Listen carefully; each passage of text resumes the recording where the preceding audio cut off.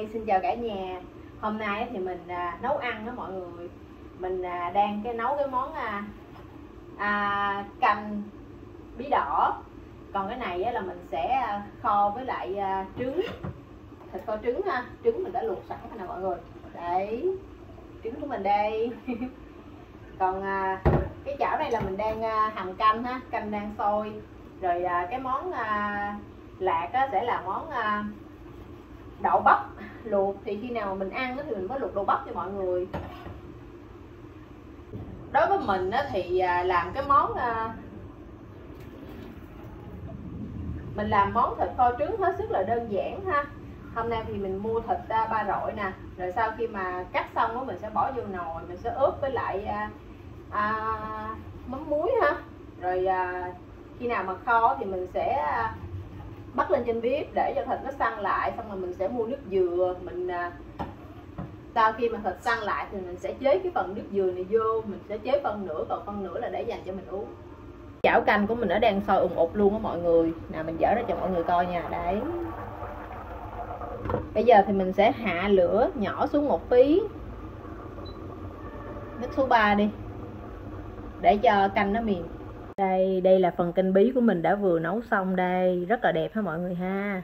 Còn đây là nồi thịt kho trứng của mình đây. Màu lên cũng rất là đẹp màu lên từ nước dừa nha mọi người.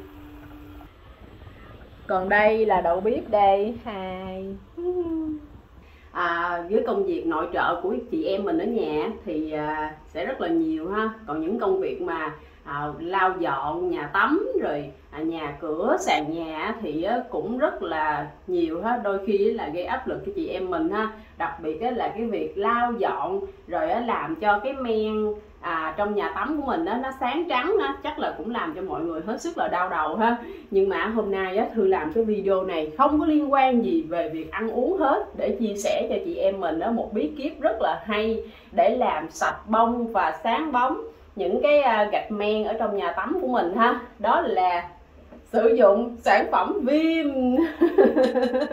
thì cái sản phẩm này chắc là mình nghĩ ở nhà ai cũng có ha. Thì nhà mình cũng có, nhưng mà mãi đến cái ngày, những ngày gần đây thì mình mới biết một cái công dụng tuyệt vời của cái sản phẩm viêm này.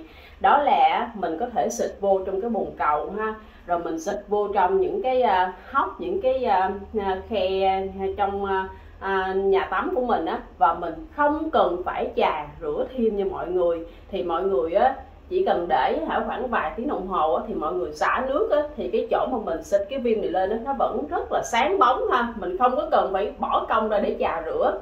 Thì bây giờ á, mình sẽ à, à, làm một lần để cho mọi người tin những điều mình nói là có thiệt nha. Đây là cái nơi mà mình đã sử dụng cái biện pháp này á à, vài ngày trước. Và mọi người thấy á ở cái góc này là cái góc mà mình xịt cái viêm lên nè mọi người. Mình xịt cái sản phẩm viêm lên ha mình không có cần phải chà rửa tự vì á cái những cái vị trí này á, rất là khó để cho mình ly cái bàn chải của mình vô lắm. Sau đó là mình chỉ à, xịt cái sản phẩm viêm này ha lên trên những cái à, góc tường này nè đấy xong cái mình để cái mình quên đó mọi người thật sự là mình quên. Cho nên á mình không có trà rửa chứ không phải là mình cố tình để mà mình ờ, biết cái ờ, cái cái cách như vậy ha cái cách làm sạch bông như vậy. Thì hôm đó á, mãi cho đến khi á, ba bốn tiếng sau á, mình lại bước vô nhà tắm để mình tắm á, thì mình á, mới ờ, thấy là cái vết mà mình xịt như vậy nè cái mình xịt nước chỗ mình xịt xong của mọi người những cái chỗ mình mình mình mình đổ cái viêm lên đó, nó sáng sạch bông luôn mọi người không có cần là phải lấy bàn chải trà rửa nữa đâu. Ừ ở là còn một cái vị trí khác mà mình chưa có um, xịt cái viêm lên ha là tại vị trí này ha. Với lại cái đường này bây giờ mình sẽ à, xịt cái viêm này lên sau đó mình cũng sẽ để trong vòng 3 tiếng mình sẽ à, kiểm tra lại cho mọi người xem nha. Rồi nha mọi người bây giờ là mình sẽ xịt cái sản phẩm viêm này lên nha. Đấy. ở đây thì miếng nữa Đấy ở đây thêm miếng nữa đi. Đấy. ở trong ở trong ở trong cái góc này thêm miếng nữa nha. Thì à, khó quá ta. Đấy, nhiều quá. Trời ơi quá nhiều luôn. Ok bây giờ thì mình sẽ để cái sản phẩm này ở trên cái bề mặt à, bồn à, nhà cái bề mặt nhà tắm của mình khoảng 3 tiếng đồng hồ mọi người giờ là đồng hồ nhà mình là 8 giờ rưỡi nha. Mình sẽ kiểm tra lại cái phòng tắm nhà mình vào lúc 11 giờ rưỡi để mình xem coi cái hiệu quả của nó như thế nào. Hôm trước á, mình sử dụng cái biện pháp này á, thì khi cái nhà tắm của mình nó hoàn toàn khô ráo còn hôm nay á, là do mình vừa sử dụng nhà tắm xong cho nên nó mình không biết á, là cái à, biện pháp mà mình à, đang thực hiện như vậy á, nó có tẩy trắng hoàn toàn như lần trước hay không. Nhưng mà không sao mình có 3 tiếng để thử nghiệm cái à, độ à, sạch bông sáng bóng của sản phẩm viêm đối với nhà tắm của mình nha. Hai mọi người ơi bây giờ là đã gần 11 giờ 30 rồi. Bây giờ thì mình sẽ chuẩn bị vô mình là mình à, à, xả nước cái chỗ mà mình xịt cái viêm ha để xem là cái hiệu quả mà nó tẩy trắng không cần dùng bàn chải để cọ rửa thì nó có giống như là cái lời của mình giới thiệu hay không nha. Là 11 giờ 30 ha thậm chí chỉ mới có 28 phút rồi mọi người.